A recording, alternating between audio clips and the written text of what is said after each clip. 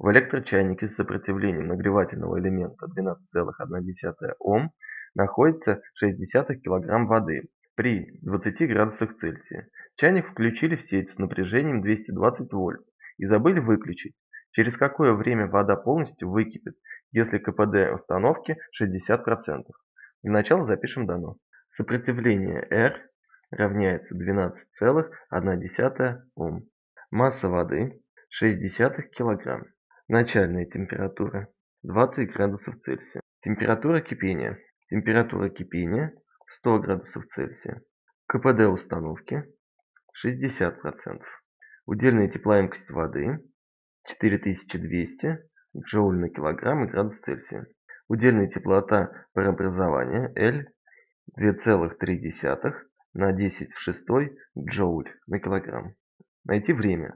Тау неизвестно. Напишем формулу КПД. КПД равняется А полезное на А затраченное. И все это на 100%. Эту формулу нужно знать. А полезное – это количество тепла, которое получает вода. Количество тепла, которое получает вода, равняется Q воды – это количество тепла, которое получит вода при нагревании от 20 до температуры кипения, плюс Q пара. Q пара – это количество тепла, которое потребуется для того, чтобы воду превратить в пар. Количество тепла, которое необходимо для нагревания, Q равняется C M дельта T. Количество тепла, которое необходимо для нагревания, равняется удельная теплоемкость вещества, умноженное на массу вещества и умноженное на изменение температуры. Количество тепла, которое необходимо для парообразования, равняется L, удельная теплоемкость парообразования, умножить на массу вещества. Эти формулы нужно знать. Тогда Q воды равняется удельная теплоемкость воды, умноженная на массу воды и на изменение температуры. Т кипения минус Т начальное. Количество тепла Q пара равняется L воды умножить на массу воды. Соберем все воедино, подставим в А полезное. Тогда А полезное равняется С воды, масса воды на изменение температуры, Т кипения минус Т начальное, плюс L воды, масса воды. Вынесем общий множитель, массу воды. Тогда А полезное равняется масса воды умножить на скобку С воды на изменение температуры, Т кипения минус Т начальное, плюс L воды. А затрачено – это та энергия, которая выделяется сопротивлением.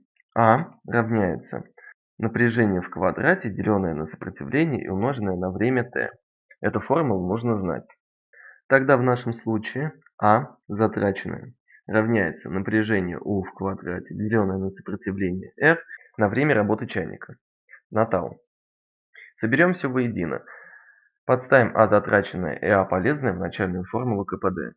Тогда КПД равняется А полезное – это масса воды умноженная на С воды на изменение температуры, Т конечная минус Т начальная, плюс L воды.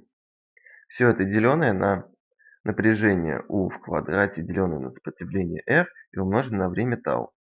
Все это умножить на 100%. Выразим отсюда время тау.